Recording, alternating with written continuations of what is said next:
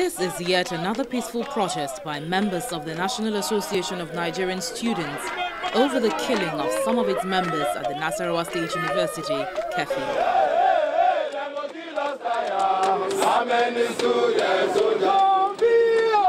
The students are asking army authorities to fish out those behind the killing of the students.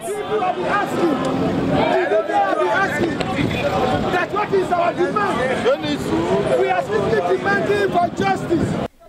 The students are asking army authorities to fish out those behind the killing of the students. We know that the Nigerian military is there to safeguard the integrity and the sovereignty of this nation. And we know that the Nigerian students are not questioning the sovereignty of Nigeria. And we know that what is happening there was a civil or uh, civil demonstration that the Nigerian Civil Defense Corps or the police could have handled. So who sent the military men to come there and kill the students? Did not.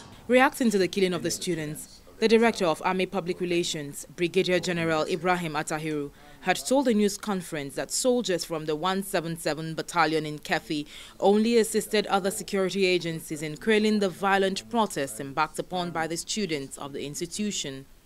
Nigerian Army troops in Keffi did not, did not shoot any of the students of the Nasarawa Polytechnic, or university rather.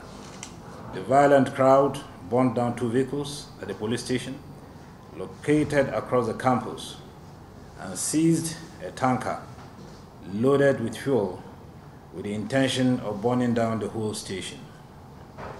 The combined efforts of 177 Guards Battalion troops with other security operatives prevented the hoodlums from this act